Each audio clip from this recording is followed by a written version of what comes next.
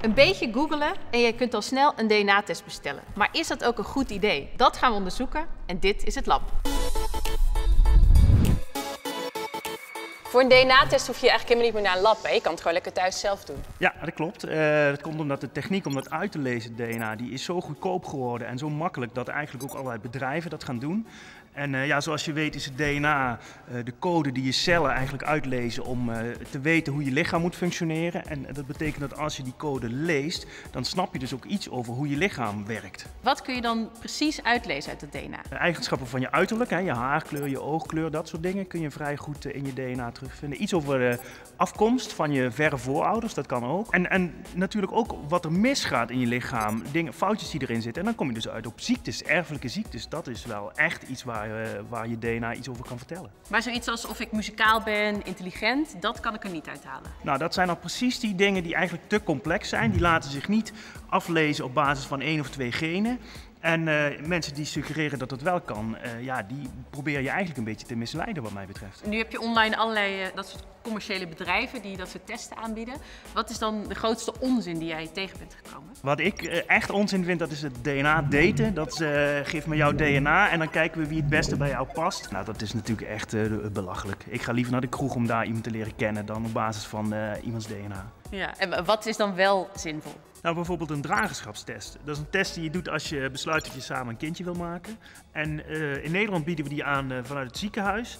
Maar je kunt hem ook gewoon online uh, bestellen, in België bijvoorbeeld. En omdat we in een lab staan, leek het ons een interessant idee om zo'n dragerschapstest te doen. Om te kijken of Mark en ik, hypothetisch gezien, een gezond kindje zouden krijgen. Met zo'n dragerschapstest kijk je dus of je risico loopt op een kind met een erfelijke ziekte die je zelf niet hebt. Je hebt van alle genen de twee.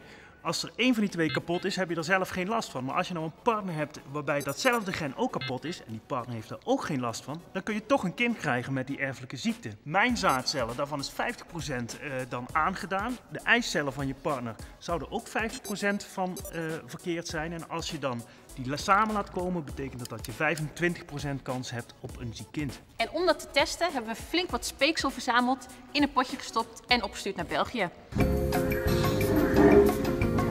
Ik denk dat je deze test samen doorstaat, dan, uh, dan uh, ben je klaar. ben je er klaar voor, ja. Laten we de resultaten er maar bij gaan pakken. We hebben dus gewoon een e-mailtje gekregen met daarin de informatie. Laten we eerst even bij, uh, bij die van mij kijken. Hier staat, we hebben 175 ziektes getest. Doofheid, blindheid, uh, taai-slijmziekte.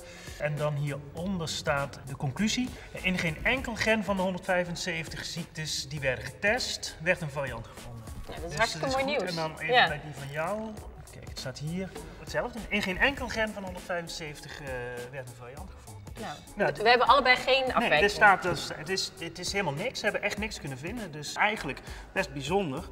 Allebei hebben we op geen enkel van deze plekken een, uh, een mutatie. Maar als ik dit zo zie, dan denk ik dat het eigenlijk best wel een goed idee is als wij een kind gaan maken.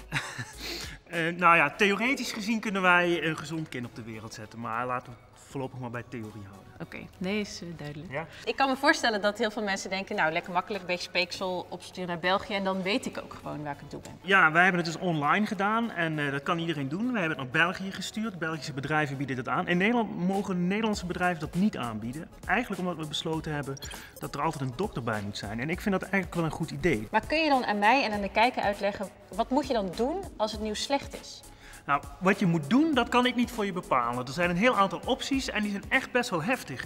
Je kunt kiezen ja, dat je geen kind neemt, maar dat lijkt me uh, niet waarom je hier aan begonnen bent. Je kunt een andere partner kiezen of misschien een zaaddonor. Als je er wel voor gaat, kun je ook gewoon zeggen, nou, we nemen de gok en we kijken wel of het kindje gezond wordt. En je hebt nog twee andere opties en die zijn allebei best heftig. Je kunt het kindje testen als het nog in de baarmoeder zit. Of je kiest voor embryoselectie en dat is een IVF-behandeling en dat is super ingrijpend. Bovendien moet je ook eens even heel goed nadenken over je privacy. Je hebt DNA opgestuurd naar een bedrijf, in ons geval in België. Wie mag er eigenlijk bij? Wie mag dat zien? Je zorgverzekeraar misschien? De politie? Ik heb geen idee. En uh, ik denk dat je daar eerst eens heel goed over moet nadenken en eens heel goed moet vragen hoe het precies zit, voordat je zomaar je DNA naar allerlei bedrijven stuurt. Je eigen DNA opsturen en laten analyseren wordt dus makkelijker dan ooit. Maar of je alles ook moet willen weten, dat mag je zelf bepalen. En dit was het lab. Vond je dit nou een leuke video? Dan moet je je hier abonneren. Hier. En wil je meer wetenschap? Klik dan hier.